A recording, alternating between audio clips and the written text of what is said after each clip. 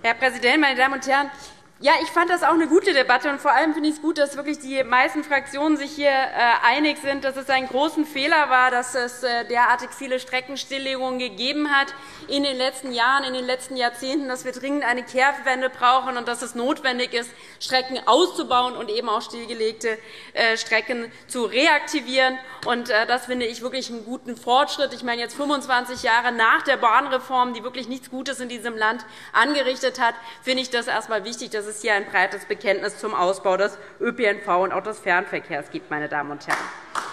Ich habe mich noch einmal zu Wort gemeldet, weil ich auf zwei Punkte kurz eingehen möchte. Das eine ist die Frage, die äh, Herr Müller angesprochen hat, äh, die Frage der Verlagerung der Kurzstreckenflüge auf die Bahn. Es gibt ja sehr gute Zahlen dazu auch der Bundesregierung, wo man noch einmal nachschauen kann. Also selbst bei den heutigen Kapazitäten, wie viel Prozent der Kurzstreckenflüge jetzt schon verlagert werden könnte. Ich sage mal so, ich finde es das gut, dass es eine Debatte gibt, die hier angestoßen wurde, und zwar äh, sowohl von den GRÜNEN, von Annalena Baerbock, ähm, von Olaf Scholz von der SPD. Wir als LINKE haben die Debatte auch mit angestoßen, dass wir über die Sinnhaftigkeit von Kurzstreckenflügen reden müssen und dass vor Corona es, ich glaube, immer noch sieben Flüge am Tag von Frankfurt nach Stuttgart äh, gab. Ich finde, das ist ein Normalzustand, zu dem wir nicht mehr zurückkehren müssen. Diese Flüge können auf die Bahn verlegt werden. Niemand muss von Frankfurt nach Stuttgart fliegen.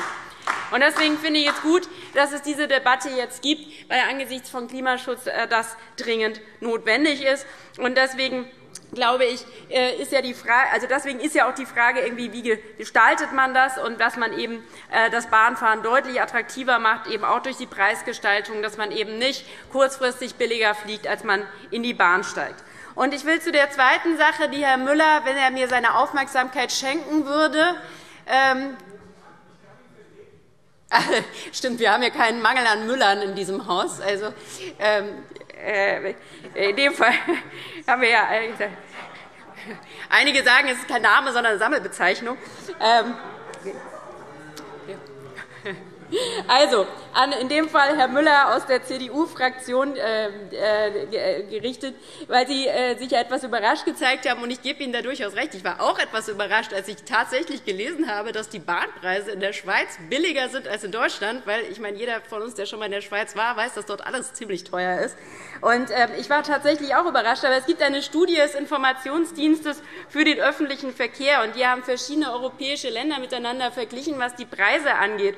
Und die haben aber jetzt nicht sich eben einzelne Ticketpreise angeschaut und miteinander verglichen, sondern eben Mobilitätssituationen Nee, das ist ja ein Unterschied. Also die meisten, also nicht einfach nur, äh, wie viel Strecke, sondern die haben sich die Mobilitätssituationen angeschaut. Also was geben Pendler aus, fürs, äh, was geben äh, Menschen, die jetzt Fernreisen machen innerhalb der Schweiz aus.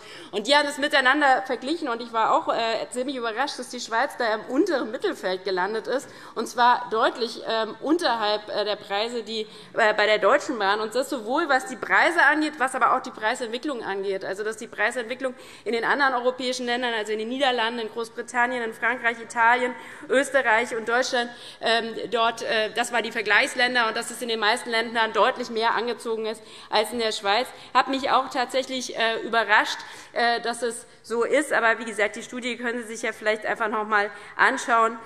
Danach war sowohl bei der Frage irgendwie Pendeln und Nahverkehr ähm, war das deutsche Preisniveau drüber, als auch was jetzt äh, Reisen durchs Land angeht.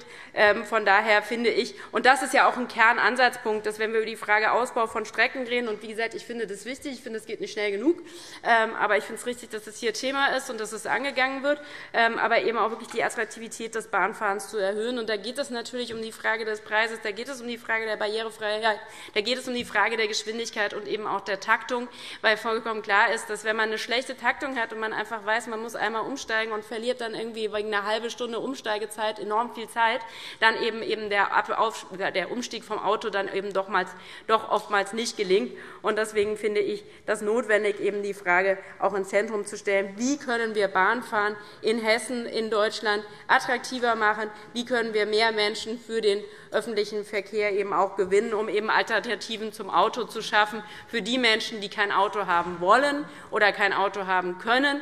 Dass die eben auch mobil sind.